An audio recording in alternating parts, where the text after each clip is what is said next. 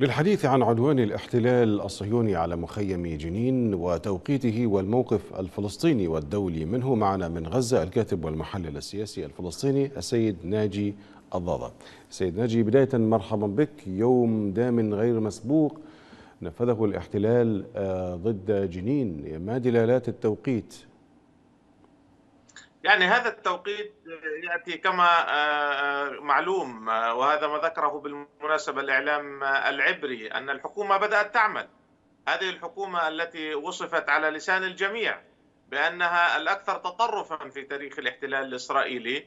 تضم هذه المجموعة الإرهابية من الوزراء الذين آه، هم أقطاب في الصهيونية الدينية. يتوقع أن هذه العملية هي بداية ما سيكون عليه الحال في الأشهر والأسابيع القادمة مما يخطط له باعتبار أن مشاريعهم مرتبطة بالاستيطان مرتبطة بالتهويد مرتبطة بمصادرة الحقوق الوطنية الفلسطينية. وبالتالي التوقيت اليوم هو أن هذه الحكومة بدأت تمارس آه، ما وعدت آه، ناخبيها من الاعتداء على الحقوق الوطنية الفلسطينية في اعتقادهم أنها آه، جزء من آه، آه، مكتسباتهم ضمن الائتلاف الحكومي الآن في إسرائيل وهو بالفعل ائتلاف متطرف.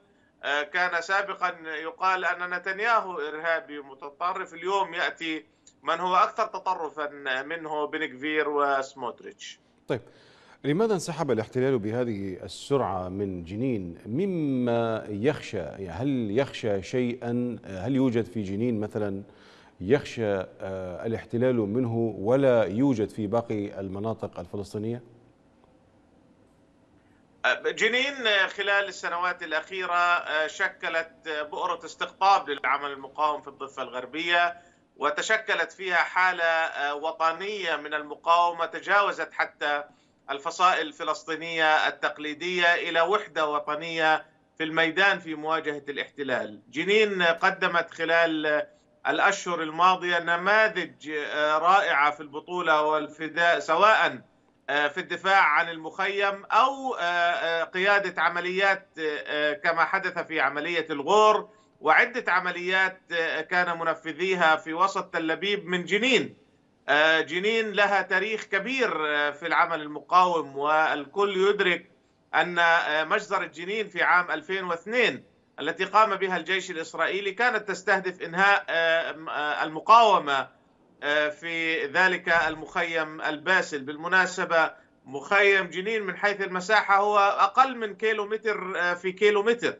لذلك هذه البؤرة من المقاومة التي مثلت نموذجا ملهما للمقاومة في الضفة الغربية وخرجت كثير من المقاومين الذين قاموا بعمليات فدائية في أماكن مختلفة، لذلك جنين تحوي فكرة المقاومة ولديها أيضا حاضنة شعبية حقيقية، شهدنا في الأسابيع الماضية حالة آه، غير مسبوقة من ظهور مقاتلين بعداد كامل بتشكيلات آه، عسكرية حقيقية وقدرة معنوية عالية آه، محتضنة من الشعب الفلسطيني طيب. وأهالي جنين مستعدين للتضحية والفداء طيب. ويدركوا بشكل واضح أن مشروع المقاومة آه، يمكن أن ينجح ويمكن التضحية من أجله في مقابل رصيد وطني كبير. فلسطينيا هل تعتقد أن الشارع مقتنع بالبيان الرسمي الذي صدر إلى أي مدى ترى هذه الخطابات ممكن أن تغير الواقع؟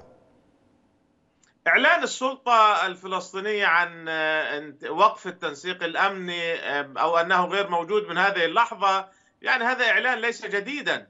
آه، الواقع هو الذي سيثبت. تصريحات قادة الجيش الإسرائيلي مساء اليوم بعيد إعلان السلطة هو تصريحات واضحة بأنهم لا يخشون من مثل هذه التصريحات السياسية لأن الميدان يقول عكس ذلك.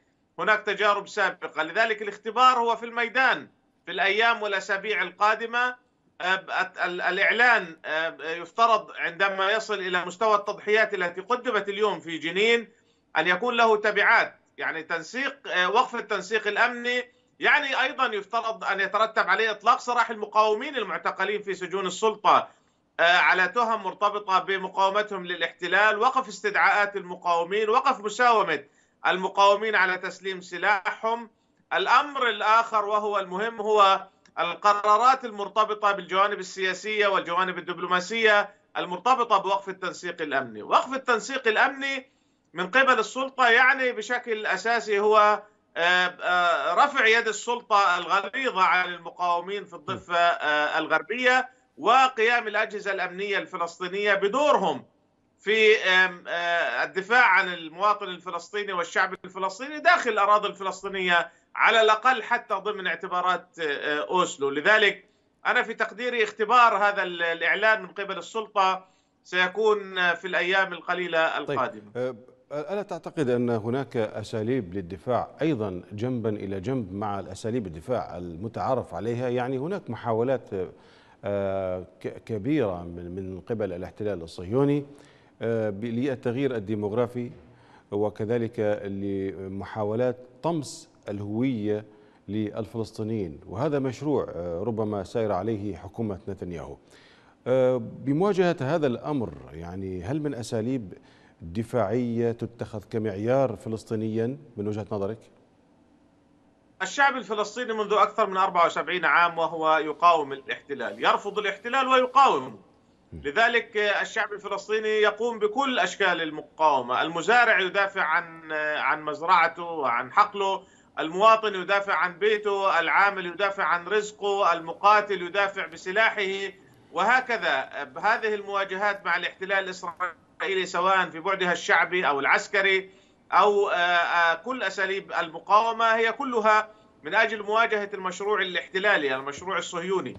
اليوم لدى هذه الحكومة وبالذات الصهيونية الدينية مشروع عنوانه مليون مستوطن جديد في الضفة الغربية. هؤلاء لديهم مشاريع لإحلال السكان في الضفة الغربية بقادمين يهود مهاجرين. لديهم أحلام الصهيونية العالمية التي كانت قبل إعلان هذا الكيان عام 1948 الشعب الفلسطيني مضطر أن يقاوم بكل أساليب المقاومة مطلوب من الجميع أن يقوم بدوره. الدبلوماسي الإعلامي السياسي طالب العلم من يحمل حجرا من يحمل سكينا من يحمل زجاجة مولوتوف من يحمل سلاحا آليا. الجميع يجب أن يقاوم الاحتلال لأن الاحتلال يستهدف الجميع. المقدسات في الضفة المقدسات في القدس المقدسات نعم. من حيث الإنسان والأرض كل ذلك مستهدف من قبل هذا اليمين المتطرف في الحكومة الإسرائيلية ولديهم بالمناسبة خطط ينفذونها لذلك مطلوب جميعا أن ننهض في مواجهة هذا المشروع. نعم. من غزة الكاتب والمحلل السياسي الفلسطيني السيد ناجي الضاضة شكرا جزيلا لك.